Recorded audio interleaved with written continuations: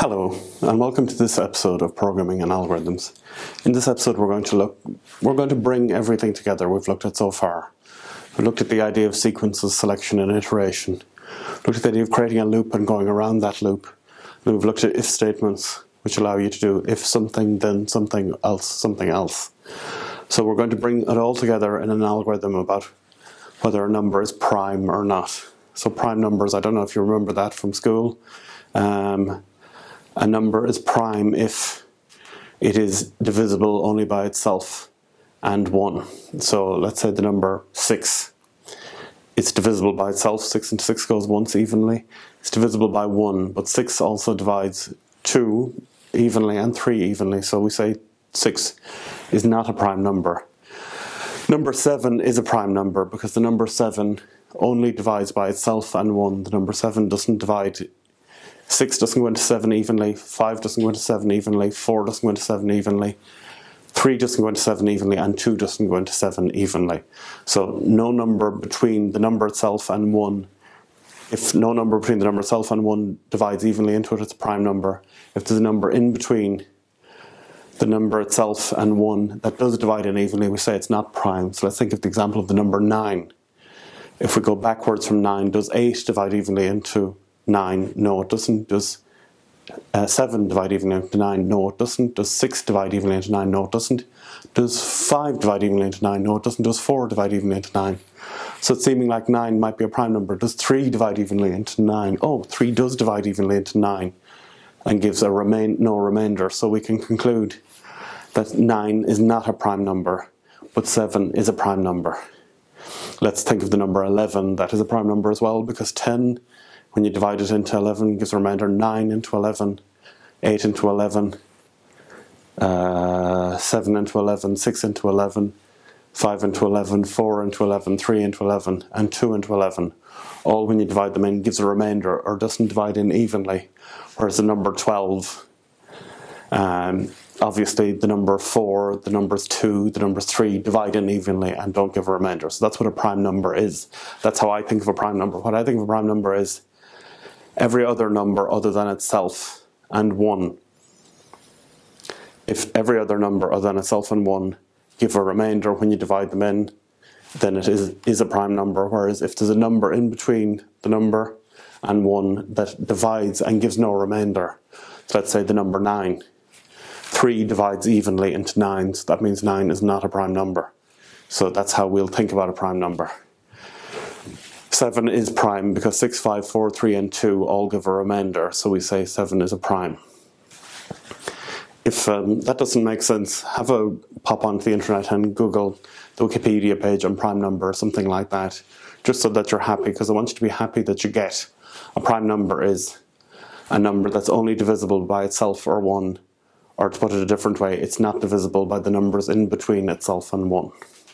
So let's look at the pseudocode. Yeah, that's exactly what I said. So 7, because 6, 5, 4, 3 and 2 give a remainder, we know 7 is prime. So the general principle is if the number is a, if a minus 1, a minus 2, a minus 3, a minus 4, all the way down to 2, if all of them, all divisions give a remainder, then we say a is prime. So here's the code. First draft, we're going to do this in two drafts just to make it easier. We call the program check if it's prime. We read in the value, and then we assign uh, we read in the value into a variable called a, and then we assign a new value b, and b gets the value of a minus 1. Now we keep on looping and checking if a divided by b divides in evenly. And in that loop as well, we'll de decrement b by 1 each time. So we'll keep on counting downwards and say um, a does a divide into B, uh, take one away from B, keep taking one away from B until we get to 1, and when B is 1, we'll stop the loop. We'll remember if any division gave an even result, and if any of them gave an even result, then the number is not prime. So all it takes is one division to have an even result. So for example, with the number 9, 8 into 9 gives a remainder, 7 into 9 gives a remainder, 6 into 9 gives a remainder, 5 into 9 gives a remainder, 4 into 9 gives a remainder, 3 into 9 does not give a remainder, 2 into 9 gives a remainder. So because there is one division we did that gives no remainder, we say that the number 9 is not prime.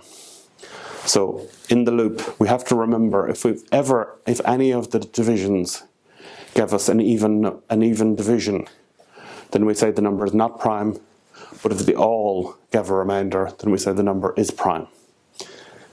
So let's look at what that pseudocode actually looks like as a final draft. So we read in A,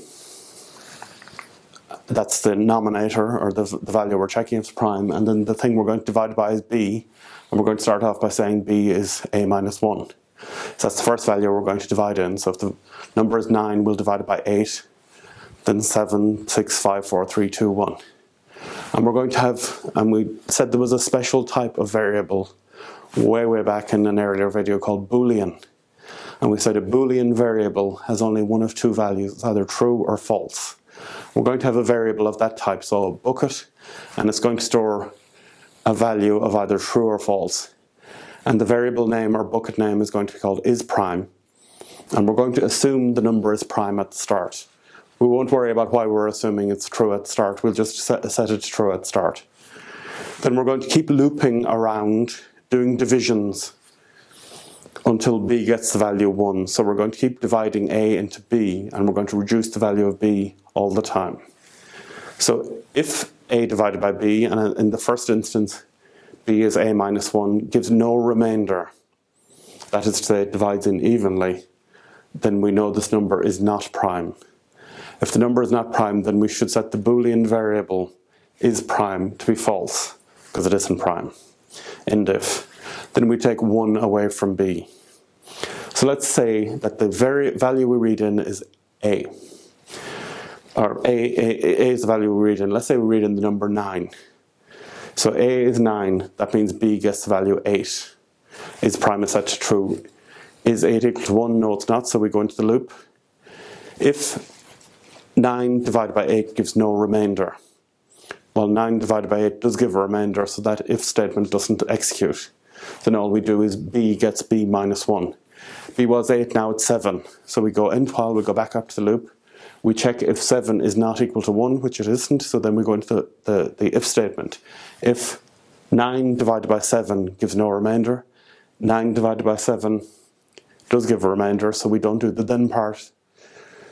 So as far as we're concerned, so far is prime is still true, because each division we're doing is giving a remainder, so we're assuming it's prime as we're going on. Now b gets decremented from 7 to 6. We check while uh, 6 is not equal to 1, which is not, and then we check if 9 divided by 6 gives a remainder. 9 divided by 6 does give a remainder, so that if statement is not true, so we don't go into the then part.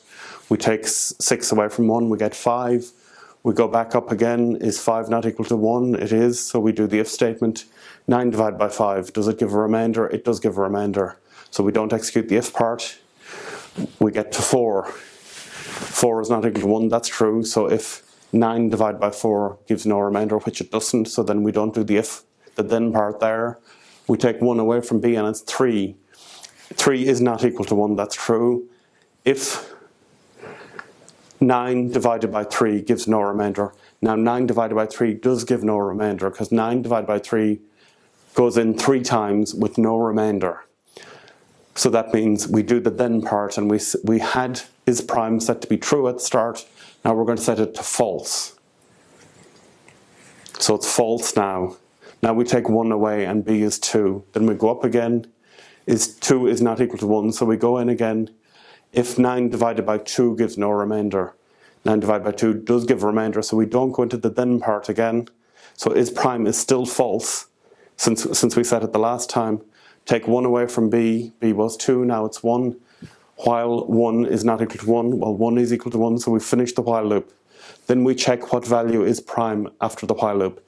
If is prime is equal to false, which in the case of 9, it is false, so then we print out that the value 9 is not prime. If we did all the divisions and we had never gone into the bit if a divided by 2 gives no remainder, then is prime is equal to false, then is prime would be true. So if is prime was true, we'd print out the else bit that the number is prime. Let's do that for the number 7 now, just to make this clear. If this all makes sense to you already, please feel free to skip to the end of this video, but if it doesn't make sense, let's step through if it's the value 7. We read in A is 7, that means B is 6. Is prime, we'll assume 7 is prime, which uh, as it happens we know. B is 6, so 6 is not equal to 1, so we'll go into the while loop. Does 7 divided by 6 give no remainder? No, it gives a remainder, so we don't set is prime to be false b gets the value b minus 1, so that means we take 1 away from 6 and it becomes 5. We go into the if statement again. Does 7 divided by 5 give no remainder? No, it gives a remainder, so we, we, we don't do the then part and we, we decrement again. Uh, so b becomes 4. Does 7 divided by 4 give no remainder? It doesn't, it gives a remainder, so we go back and go down to 1 uh, b becomes 3. Does 3 into 7 give no remainder? It doesn't. Uh, so we go down again. 2. b becomes 2. Does 2 into 7 give no remainder? It doesn't. It gives a remainder. So we don't go into the then part again. b takes 1 away and becomes 1. Then while 1 is equal to 1, which it's not, so then we exit the loop. So in that circumstances, when the number was 7, we had assumed is prime is true at the start, we never went into the statement where, we said is prime to be false. So that means is prime is true. So we, we execute statement for the number 7, if is prime equals false, it is not false and has never been set to false. Therefore, we print out the else part of the if statement saying print that the number 7 is prime, end if and end program. So I know that's fairly head-wrecking stuff. I want you to go back and play this video as many times as you need to before you get every element of what I'm saying. The, the, the, the, real trick, I think, in this is that we've got this Boolean variable. We set, it, we set it to true at the start, which means we're going to assume it's prime. We'll assume the number is prime. And if at any time we do a division between the number minus 1 and 2, and any of those divisions go in evenly, then that proves that the number isn't prime. So then we set that is prime to false. So think about the number 9. We divided 9 into 8, 7, 6, 5, 4, 3, 2, and 1. And each division, we're assuming it's true because 8 goes into 9 with the remainder, 7 goes into 9 with the remainder, 6 goes into 9 with the remainder, 5 goes into 9 with the remainder, 4 goes into 9 with the remainder, but 3 does not give a remainder, so that means 9 is not, is not prime and then 2 goes into 9 with the remainder. Because there's one value that gives a no remainder, the number 3, 9 is not a prime number. So we keep on looping through the divisions of the number minus 1, minus 2, minus 3, minus 4, all the way down to 2. And if any division gives us no remainder, if that is, it divides in evenly, then we know the number is not prime, whereas all the divisions, each of them gives a remainder or doesn't divide in evenly, then what that's telling us is this number is prime. So the number 7, 6, 5, 4, 3, 2, each of them gives a remainder, whereas the number 9, 3 gives no remainder, therefore it's not prime. So as I said, keep going over this until it makes sense. This is combining selection, sequence, and iteration. And a lot of our algorithms that we use from now on will use the same kind of logic as this. And I know it's fairly head-wrecking, and sometimes it'll help people to implement this in a programming language to understand how it works. But this is, um, we're kind of halfway through the course now, and this is a bit of a pivot point in the course. If you spend a bit of time and actually work on this, you'll get what's going on. I, I think I said it in the first class when I, when I talked to you face to face that programming is a skill. It's like learning to cycle or learning to swim or learning to drive. It's a lot of different parts you need to do. And, and when you start, you're focusing on the little mechanical bits. So let's say learning to drive, you're thinking about how to do the clutch, you're remembering to signal, you're remembering to mirrors, and it's hard to, you can't do all the parts together. It's one part at a time. So how I've taught this is each bit separately, but now we're bringing all the parts together in an algorithm like prime number calculation. And it's to keep working at it. And programming isn't something you can fake. It's a skill you have to develop through practice and looking at various algorithms and playing around with different ideas. So uh, keep exploring this prime number algorithm until it makes sense for you. Thanks very much. We'll see you on the next episode.